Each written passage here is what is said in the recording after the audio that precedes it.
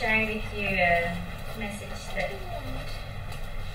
is pretty real for me in my life, and I'm sure that it is also for you. Uh, so I just would like to uh, invite you to just pray. Father in heaven, thank you for your word. Thank you for your principles. Thank you for the Holy Spirit. And we pray that you will be present here. And we pray that your word will stand out. And that it will really be burning in our hearts. And thank you that we can have the power to be able to apply it. In Jesus' name we pray. Okay, so uh, this story is I'm going to be talking about Abram and Lot. Abram before he became Abraham. And uh, Uncle Abram must have been pretty close to his nephew Lot. Or maybe Lot's parents actually died early, we don't know. But he clung to Abram really as his closest family. When Abram received the calling from God to leave Ur to go to, Har- uh, to go to Canaan, Lot went with him. And then they went to Haran, and that's when Abram's father passed away. And Abram had to leave from Haran to go to the final destination, which was Canaan, and Lot went with him as well. And then the famine uh, happened in the very land that God has given to Abram, and Lot went with him to Egypt.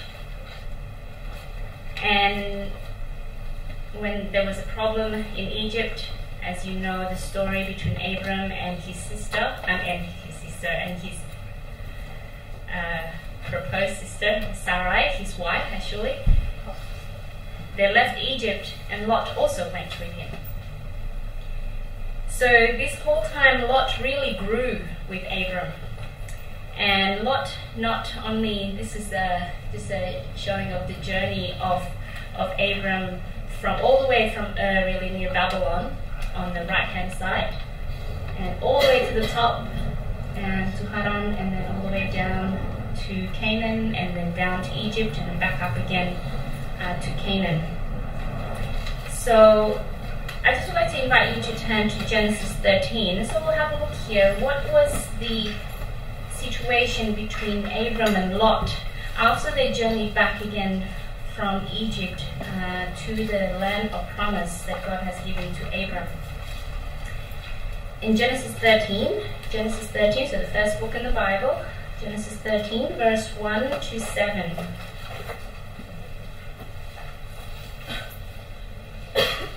And I'll read uh, to you now.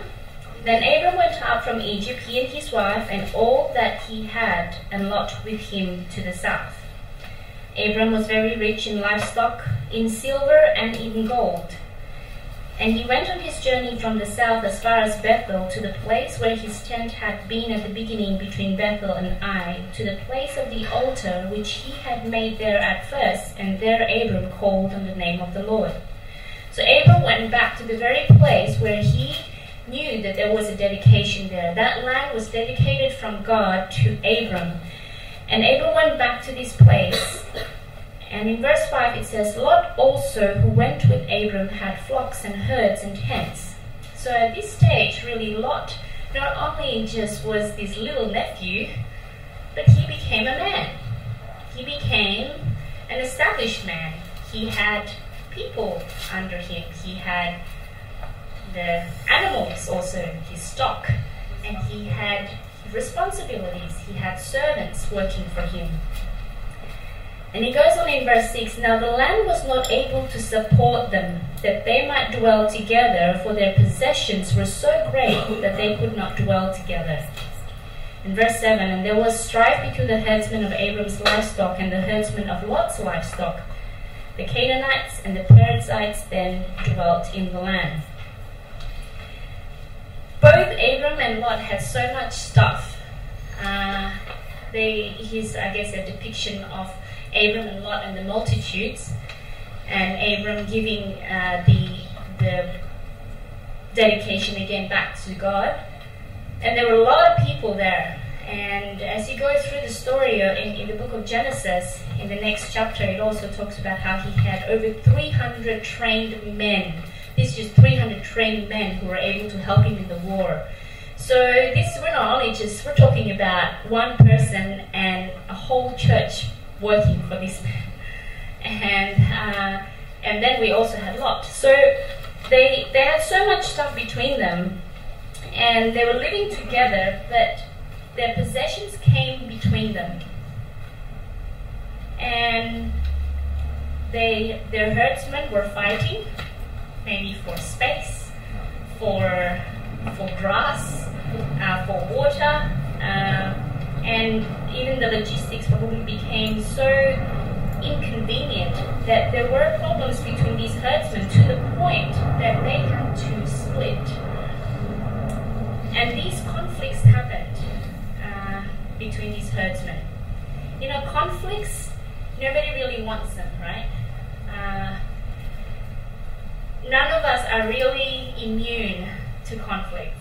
Conflicts occur in our homes, uh, between parents and children, between siblings, between uh, a husband and a wife, or even a dating couple, between friends, between an employer and employees, and any kinds of there is existence of humanity there will always be conflicts that will that can occur. I'm not saying there will always be conflicts. Sorry, I should reword that. There will not always be necessarily be conflicts, but the possibilities of conflicts will always be there where there are two people, and um, and conflicts arise as well from differences in opinions, differences in visions, differences in plans, differences in preferences, uh, differences in treatment uh, differences in expectations, particularly.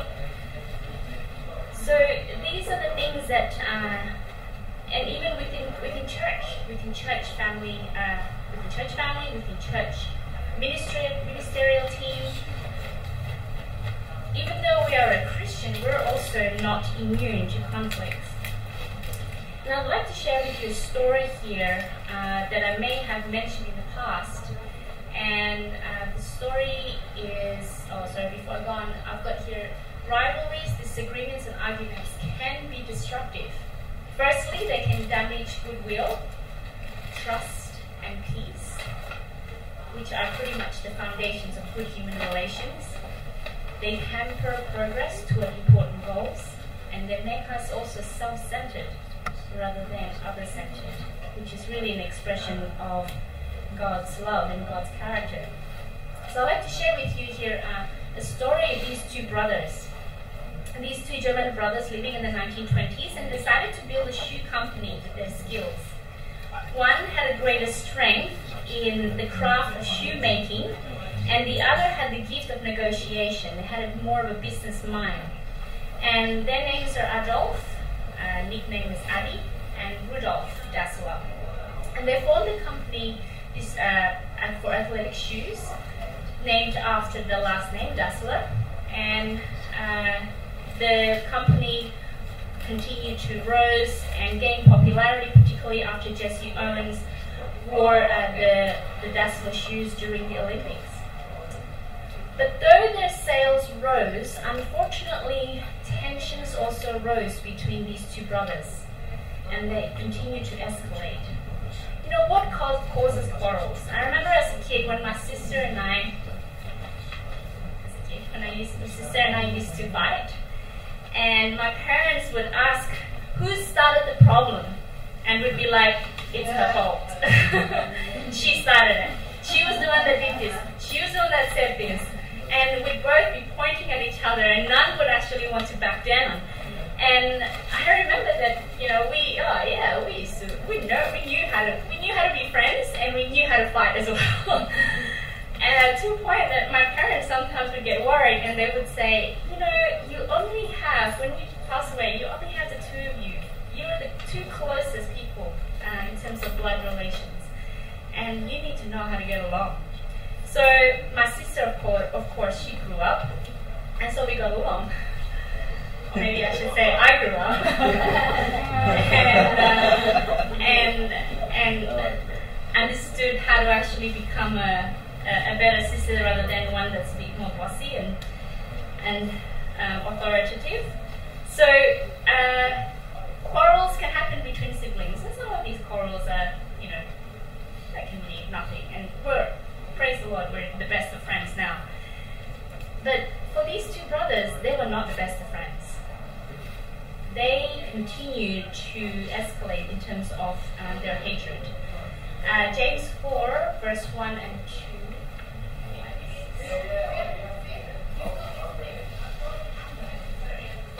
James 4 verse 1 and 2 says, What causes quarrels and what causes fights among you? Is it not this, that your passions are at war within you? You desire and do not have, so you murder. You covet and cannot obtain, so you fight and quarrel. Quarrels are a headache. They, they give us so much stress emotionally, and they give us so much stress mentally, and also spiritually, and even physically.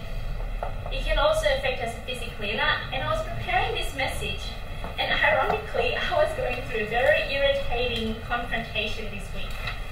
And I, it's not with my family, and it's actually with the telephone company. And I spent over an hour talking on the phone on my lunch break um. to the point where after that conversation, there was still no resolution. I was so frustrated that I couldn't even work and I had to walk out of the office and just walk. And then I spoke on the phone to my dad, telling him my frustration, and I became even more frustrated. so I, and I was thinking, Christiana, you're preparing this very message about confrontation, and here you are. And uh, so I, I'm sharing this message not because I know how to actually resolve conflicts, but it's because it's something that I'm growing to know how to resolve conflicts. I'm growing to know how to actually communicate in a way that brings peace and that brings solution. Um, Proverbs tells us this. Um, this is some examples of quarrels. Uh, Proverbs tells us this. For lack of wood, the fire goes out, and where there is no whisper, quarreling ceases. As charcoal to hot embers and wood to fire, so is a quarrelsome man for kindling strife. The words of a whisperer are like delicious morsels. They go down into the inner parts of the body. It really takes two to make a progress in conflict. It only takes one to start something, but it takes two for something to progress.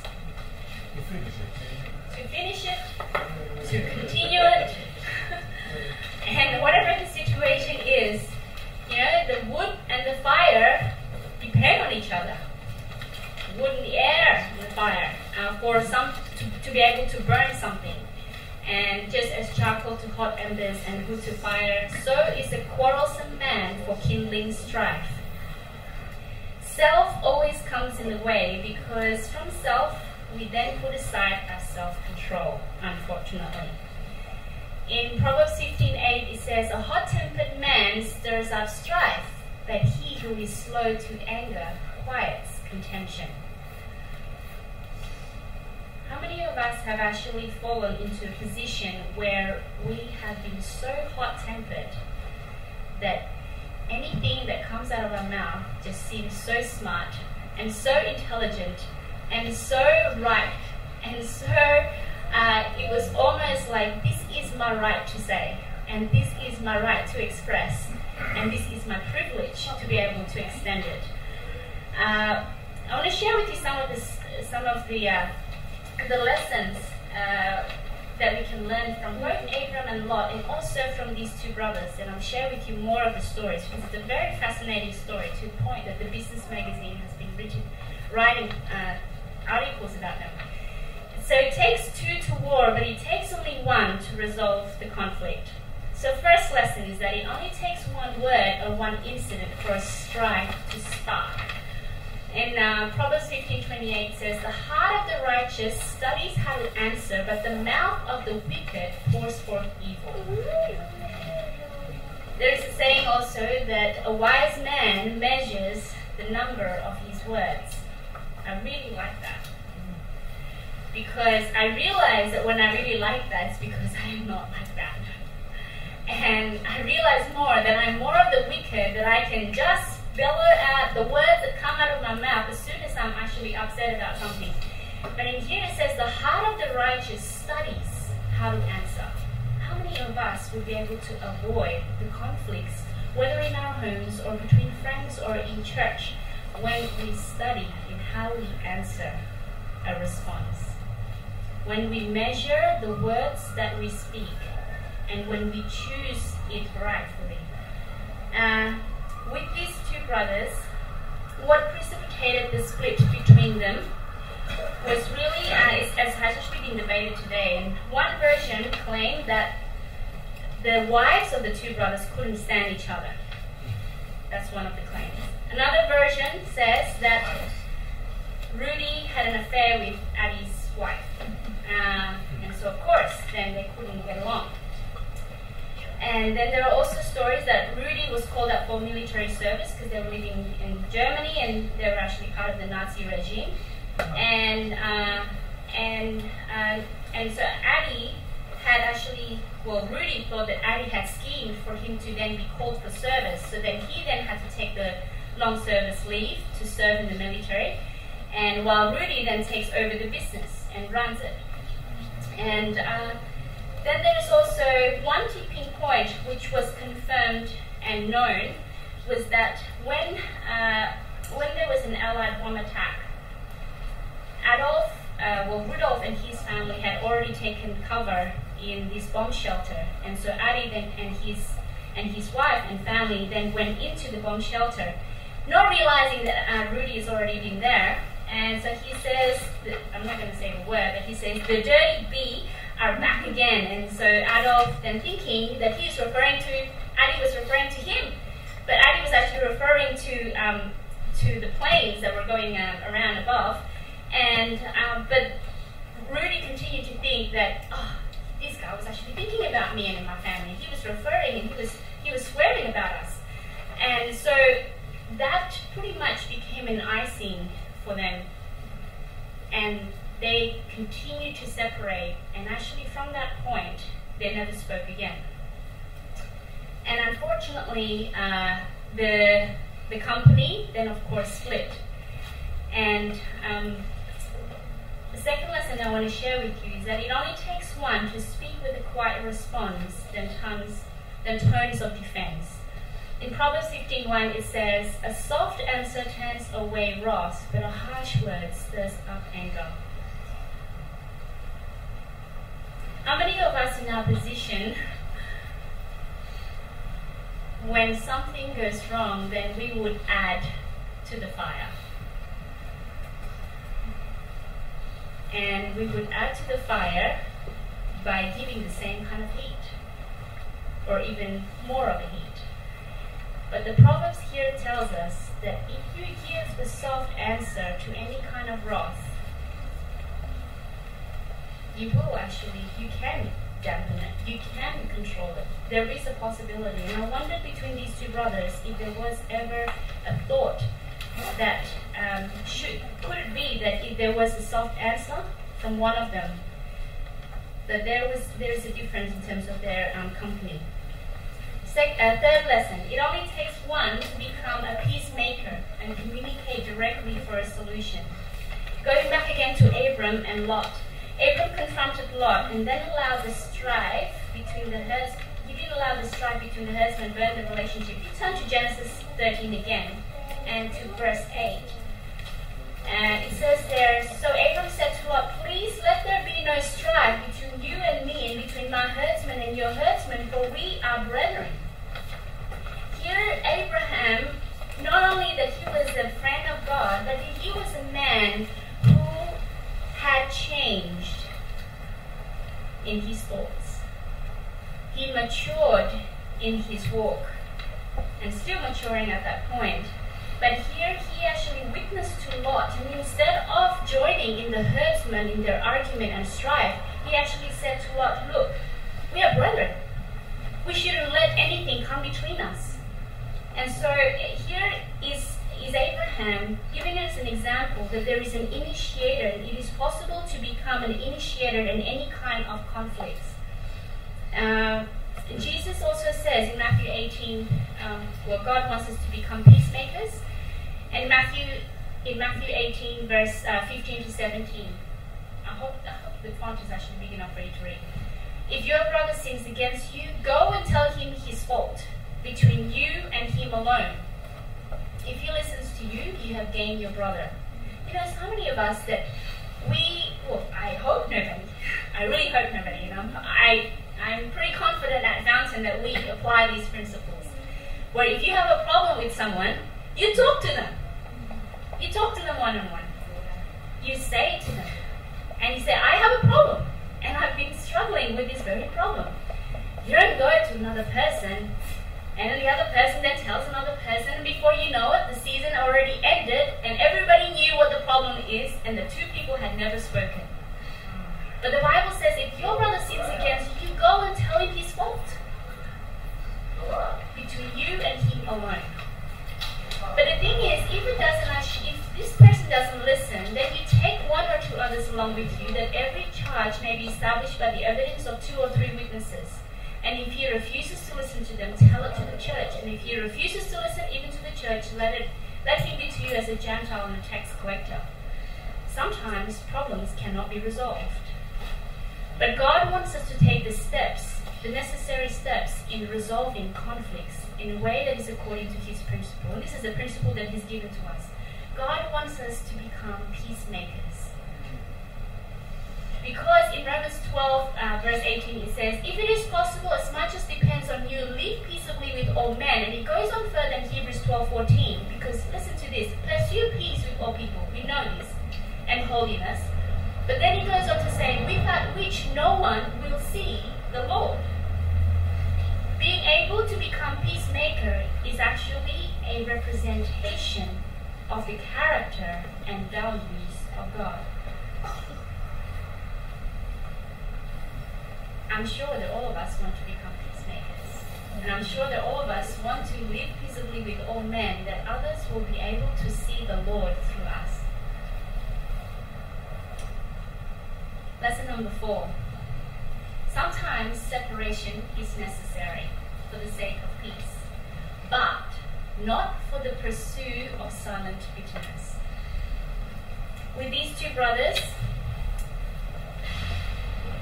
I'm sharing with you that the brothers split and they formed their own separate shoe business. And it was said that the, the brothers never spoke again. And Adolf, which is known as Adi, he formed his version of his shoe company and he named it Adidas after his last name, a first name and last name, Adi and Dassler, so Adidas. And then Rudolf uh, uh, formed his own company and called it um, and then later on changed it to Puma. So these two companies had always been in conflict for a long time, a long, long time. And uh, what made this story even more sad was that the fact that there was no definite news that these two brothers had communicated and resolved their differences before they passed away. There was a rumor that they had actually spoken, but there was no public announcement that the two had actually made reconciliation. They were buried in the same town, they were buried in the same cemetery, but they were buried in the opposite side of the cemetery. And yet, still, the two families never spoke. Never spoke with one another. The company continued to to uh, to rose. However, the war also continued to rose. Um, but with Abram and and Lot, there the story with Abram and Lot is that um, it was different because Abram actually initiated separation with Lot. But the initiation of separation that Abram had given to Lot wasn't an initiation of separation so that, yeah, so you can go that way and I go this way, and then we don't even have to speak to one another again. And that will solve our problems, right? But he's saying, no, you go that way. Look, I want to still be able to relate with you because because Abraham here says, that we are brethren. Let nothing come between us, for we are brethren. And he goes on to say that uh, in, in Genesis, if you turn to Genesis 14, verse 11 to 12, unfortunately there was war between these, uh, uh, within the land of Canaan. and uh, another king tried to take over Canaan. And Abram was told of the news that Lot had been taken captive. 11 and 12 it says, Then they took all the goods of Sodom and Gomorrah and all their provisions and went away. They also took Lot, Abram's brother's son, who dwelt in Sodom, and his goods, and departed. Abram was told of the news, and you go, if you go on further to um, verse, uh, sorry, uh, 14. Now when Abram heard that his brother was taken captive, he armed his 318 trained servants who were born in his own house, and went in pursuit as far as Dan. He divided his forces against them by night, and he and his servants attacked them and pursued them as far as Hobah, which is north of Damascus. So he brought back all the goods and also brought back his brother Lot and his goods as well as the women and the people. Here was um, uh, Abram, who was really a coward before, but then he became a different man. He was a coward. He told Sarah, Tell them that you are my sister so that I don't have to get killed. It doesn't matter what, what happens to Sarah, but so that I don't have to get killed. So you tell them that we're actually brothers and sisters. But then God taught him a lesson after that. And here, Abram, even though he had to learn it again a second time later, but Abram here showed that there, is a, there, there was a thread of, of courage in his blood. Because when he heard that Lot had taken captive, Abram took 300, over 300 of his trained men and rescued Lot. He knew he had a responsibility to care for Lot. So even though they separated, they were still able to maintain a relationship, and Abram showed his care for Lot. And secondly, sometimes when there are differences, separation is required because there may be principles that may be compromised if, if there was no separation.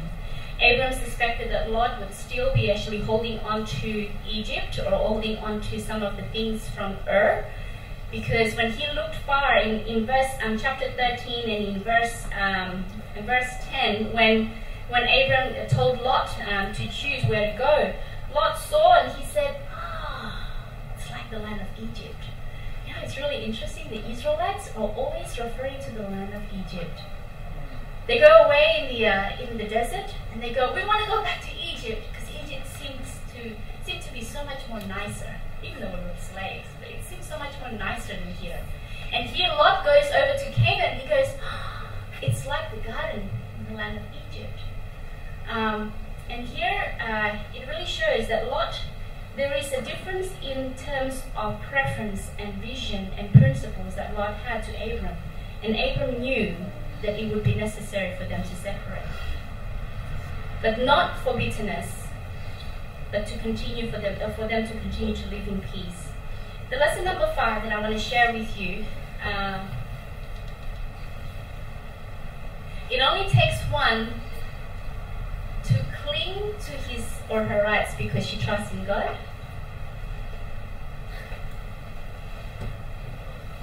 To not cling. Only one person actually got me that no, one. it only takes one to not cling to his or her rights because she trusts in God or he trusts in God. Abraham and with the story of Abraham and Lot, when Abraham received the land, he received the land from God. God said, "Here's the land. You can take it. This is I'll give I'll give this to you." Even though the the Perizzites and the Canaanites were still there, he said, "But this is your land. I'm going to multiply your descendants. This land where you will actually your the descendants, your descendants will be like the num, uh, it's unnumbered. It will be like the stars in the sky. It will be like the sands in the sea. And so here Abram's like thinking, this is my land. And he dragged, well, not he dragged, but Lot came with him all the way to Ur, up to Haran, back down again to Canaan, to Egypt, and again to Canaan. And Lot knew that Abram had come to this land because he was directed by God, and this was given to him as a gift. But when the strife happened, Abram then said to Lot, Here, you see this land? You choose where you want to go. I'll let you choose first. And of course, Lot, I don't know, if I was Lot's sister at the time, I'd be like, Are you kidding me? Lot just went, okay, then I will choose. Actually allowed Abraham to actually choose himself first, for Abraham was much older than him. And after all, this was his land. But Lot then took over. But Abraham didn't bat an eyelid. He said, You take what you think is best for you. And uh, sometimes in our lives, we shouldn't cling onto everything. When we trust that God will always provide. Um, many of us cling to our rights and preferences despite the consequence that someone else is at loss. In Romans 12, uh, verse 10, it says, Be kindly affectionate to one another with brotherly love, in honor, giving preference to one another. Here's Abraham. He was much older, and he gave Lot the right to choose. And um, Philippians 2 4. Let each of you look out not only for his own interests, but also for the interests of others. And here's Abraham. He's got like, he's got a wife. He's got, he hasn't got kids yet, but he's got people under him. He's got stock. And he had a lot of important things to consider, but he allowed Lot to choose. And this takes us to the next um, point, which is very similar. Says that for a conflict to be resolved, it takes one to take the risk of being disadvantaged or rejected. Abraham, in Abraham allowing Lot to choose first, God actually gave him a reward. Um, there's this quote from F.B. Meyer. It says, The man who is sure of God, listen to this, the man who is sure of God can afford to hold very lightly the things of this world. God Himself is His heritage, and in having God, He has all. Mm. Thought that's a very important quote. If you've got God for everything, and Abram knew that. And here, when God saw that Abram was able to actually give, God then provided for him. He reminded him. In fact, if you can turn to Genesis chapter 13, and after these two men separated, they settled down. And in verse 14 of chapter th- Genesis 13, the Lord said to Abram, after Lot had separated from him, Lift your eyes now and look from the place where you are northward, southward, eastward, and westward. For all the land which you see I give to you and your descendants forever. And I will make your descendants as the dust of the earth, so that if a man could number the dust of the earth, then your descendants could also be numbered. Arise, walk in the land through its length and its width, for I give it to you. Here's God, he wow, this is my friend. I gave him the land, and then he shared it with somebody else, that someone else can be blessed. Sometimes God gives us something so that we can bless another person. Have you ever thought of that? And yet sometimes we cling onto our rights. It's like, no, this is mine. I'm not even going to share it. This is my privilege. And it may not be a possession, but it could also be just a privilege. This is my privilege. I'm not going to share my privilege. I'm not going to be disadvantaged. But here God showed from, from the lesson of Abram and Lot that it's okay to be disadvantaged because God is not sleeping. When you've got God, you've got everything, and He will provide all the losses in your life. And when you give, He will give you more. Um, lesson number seven. It only takes one to pro- oh, sorry. It only takes one prolonged conflict for others to be influenced and join in the strife. Listen to this story. This is this this outlook is amazing. Okay, so these two brothers, they're from Germany. Uh, I'm not even going to attempt to say the word. Uh. Uh, this is the town in Germany, which is pretty much just where that red riding is. So down south, uh, just above uh, north of Munich, north of northeast of Stuttgart. And this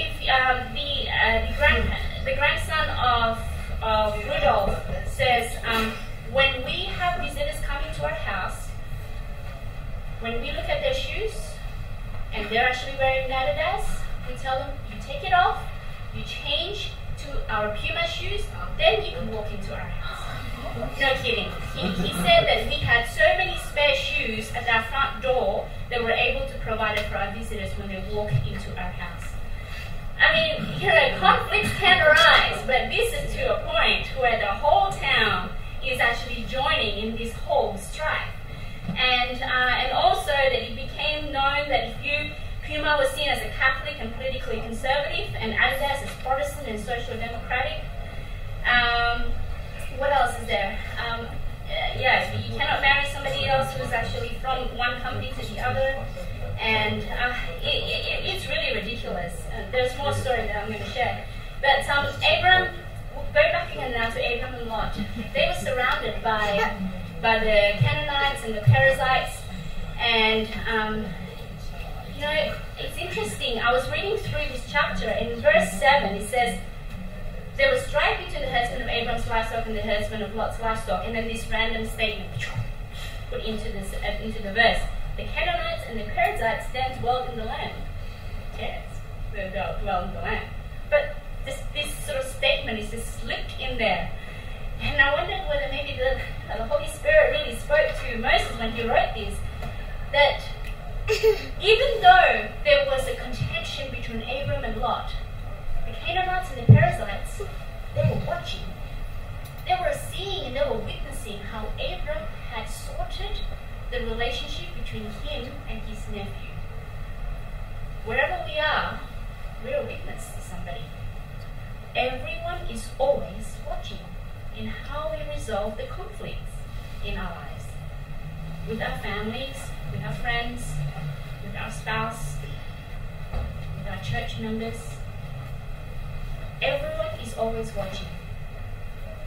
Unfortunately, these two brothers had allowed the whole town to join in the fiasco. And really, it's a sad thing. It's a sad problem when, when everyone else is affected by it. Point number eight. It only takes one to initiate forgiveness and peace. Now, although these two brothers didn't speak to one another until they died, Fortunately, eventually, the companies then made a decision to put aside the differences and they ended up facing off a friendly game of soccer. So here are the two, two CEO of Adidas and Puma. The Adidas uh, CEO will be wearing the Puma clothes and the Puma CEO will be wearing the Adidas um, outfit and they have this amazing marked day of ceremonial soccer match between the two companies and uh, the, the mayor of the town, I mean, everyone was involved in this conflict. And the mayor of the town said, I could not walk around the town. Unless if I had both. I have to have one. If I'm wearing a Puma jacket, I definitely have to wear an Adidas shoes, or vice versa. I just have to wear the two labels together because I don't want to get in the middle of it.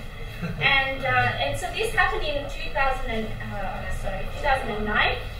And two points. So after their their uh, the uh, the soccer match, they they actually ended up erecting this fountain and um, of the two companies doing the tug of war. And uh, there was this guy, and I'll show you his. Uh, this is him. He was a real Puma loyal man. Uh, he to the point that he would tattoo the back of his leg with his um, Puma prints. And uh, he actually said this uh, this quote. Everyone thinks this shows that we're friends now. It's like yeah. everyone thinks that we're friends now. I think this is what he says. But I know the artists, so I make sure that the Puma kids have a bit more rope on their side, which means that they will win. Some things are hard to really burn, really. uh, but uh, it, it's really interesting. But praise God, praise God, they actually ended up um, making a, um, a peace. And uh, Frank Dassler, which is the grandson of Rudolf, he then went to work for Adidas and helped them out with their business um, process and obtained uh, 10 years ago. So, so uh, um, forgiveness is important. Resolution is necessary. Sometimes we get so blinded with our conflicts that we are blinded even to the enemies that are around us because you know why? They were so busy competing against one another that they failed to see the rose of Nike and now Nike rose above Puma and Adidas, and they missed it. They missed it when they could have actually solved the problem at the time. And Nike now was yeah, is, is the biggest selling shoe um, sports shoes company, uh, as opposed to Adidas and Puma, and they're still struggling behind behind Nike. But uh, here is a, a a verse from Ephesians 4.32 it says, Be kind to one another, tender-hearted, forgiving one another, even as God in Christ forgave you. What does it take for you to actually forgive? What does it take for you to forgive? If there's nothing, then praise the Lord. There are three reasons why forgiveness is important. It's because God does not want us to hold a grudge, because He has forgiven you and he cannot forgive you if you do not forgive another. And sinners are not given a chance to restore themselves if you are not forgiving them. And forgiveness makes us more like Jesus.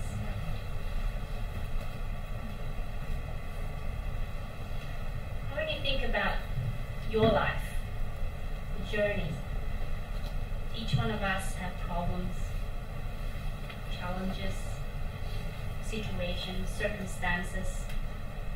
And maybe right now for you, conflict is not really the thing, the theme of the year. Praise God. But when it does come, it's so much easier for us to actually talk about this.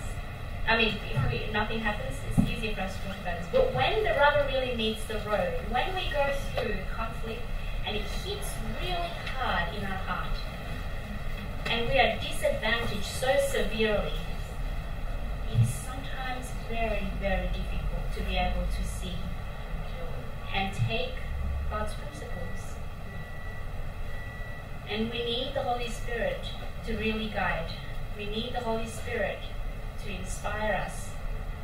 What are the things that we need to take in order for conflicts to be resolved? And sometimes it may not be resolved but what God wants us to do is for us to resolve the first in our hearts, even before the other person has resolved it in their heart. Just one last verse I want you to turn to Matthew chapter 5, which I think is, is um, I've tried to remind myself this at times. Matthew chapter 5. And in verse 22, that I say to you sorry, in verse 20, uh, 22, yeah. I say to you, whoever is angry with his brother without cause shall be in danger of the judgment, and whoever says to his brother, Raca, shall be in danger of the council. But whoever says, You fool, shall be in danger of hellfire. Verse 23. Therefore, if you bring your gifts to the altar, and there remember that your brother has something against you, what do you have to do next in verse 24? You leave your gift at the altar. God says, What are you doing here? What are you doing here? Don't come to me now. You go and sort it out with your brother. And it's, it actually even says if you if if your brother hang I've lost my, my track here. In verse 20, your brother has something against you. So you may not even have something against your brother, but your brother has something against you. God says, leave your gift here at the altar, you go back to your brother, and then offer your gift. Because there might be something that you can learn when you go back again to your brother. Then you talk to me. God wants us to put resolution first. Yes, we need to come to the Lord. How do I solve this problem? Yes, we can pray to the Lord. But we can't just continue to serve God and continue to give Him thanksgiving, and then in the back of my mind, we know that we have not yet resolved the situation in our lives. There is something still outstanding, and God says there is an outstanding report, and somebody needs to sort it out. I know it's me. And I don't know what about for you. But here is a reminder we have to initiate it first in our hearts. And even if our brother or our sister does not want to actually make the resolution and says, No, I don't want to have anything to do with you, you have initiated the peacemaking. And in that, you can actually have peace and come back again to the Lord and that He can sort it out. So I want to I want to extend this message further to you God gives us principles and how to deal with conflicts, not so that we can just read it and quote it and talk about it, so that we can apply it in our lives. And God calls us to become peacemakers, to learn from Abram, to learn from the story of Adi and Rudy. Paul tells us that there's so many stories here that it almost is there's no excuse for us to not learn from this from the mistakes of others in here. But also for us, it's an excuse, it's, it's a huge excuse for us to say that we have not learned when we have learned the stories of others and the mistakes that they have made. Let us not be ever into the situation of Adolf and Rudy. But let us become peacemakers because we are God's children.